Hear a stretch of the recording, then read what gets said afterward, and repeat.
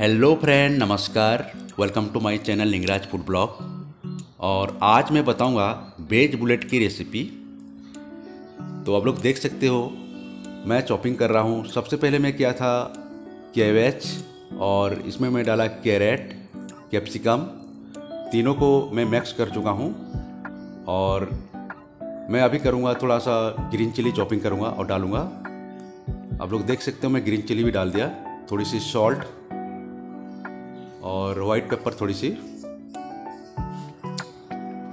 और इसमें मैं डालूँगा थोड़ी सी हॉट गार्लिक सॉस थोड़ी चटपटी करने के लिए।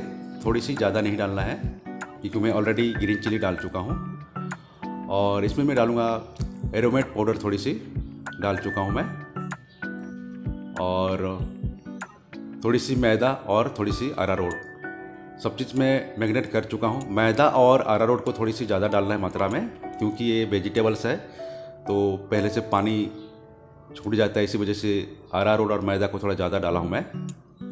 तो एक थाली की सहायता से मैं इसको मैं बनाऊँगा ऑयल में फ्राई करूँगा। आप लोग देख सकते हो, मैं थाली में ऐसी रख चुका हूँ और चाकू की सहायता से मैं आराम से धीरे धीरे ऑयल में फ्राई कर रहा हूँ। तो ध्यान देना ऑयल ज़्यादा हॉट नहीं रहना चाहिए, क्योंकि ऑयल ज़्यादा हॉट रहने से बीच में कच्चा हो जाता है और ठीक तरीके से पकता नहीं है। तो ऑयल में मैं फ्राई कर चुका हूँ और ये सॉस बनाऊँगा, आप लोग देख सकते हो। इसमें मैं चॉपिंग करके रखा हूँ थोड़ी सी जिंजर गार्लिक ग्रीन चिल्ली और नींबू। नींबू का मात्रा थोड़ा ज़्यादा डालना है। पाँच छः नींबू मैं ऑलरेडी कटिंग करके रस निकाल रहा हूँ, आप लोग देख सकते हो। और थोड़ी सी हनी डालना है। अगर हनी जिसका पास नहीं रहने से शुगर भी डाल सकते हैं तो मैं ऑलरेडी हनी को मैं रख चुका हूँ और तैयारी कर रहा हूँ मैं। नींबू का रस निकाल रहा हूँ, आप लोग देख सकते हो।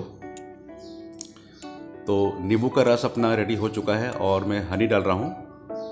हनी में बहुत स्वादिष्ट और टेस्ट बनती है। और पहले से मैं चॉपिंग किया था गार्लिक जिंजर और थोड़ी सी ग्रीन चिल्ली चटपटी, खट्टी मीठी सॉस है तो अब लोग देख सकते हो मैं रेडी करके ये पूरा रख चुका हूँ और इसमें मैक्स कर रहा हूँ।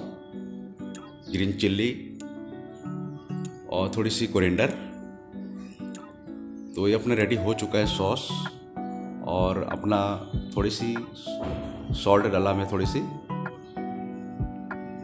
थोड़ी सी सॉल्ट और पहले से तो अपना हनी का मिठास रहता है तो मीठा भी डालने की कोई ज़रूरत नहीं है। तो अपना रेडी हो चुका है ये अपना सॉस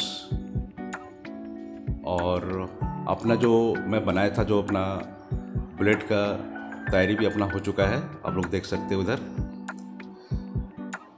एकदम फिंगर कटिंग में और बहुत क्रिस्पी हुआ है और खाने में बहुत मज़ा आएगा। देख सकते हो। तो आप लोग को अगर मेरे वीडियो पसंद आए तो प्लीज़ लाइक शेयर सब्सक्राइब करना और मेरे चैनल में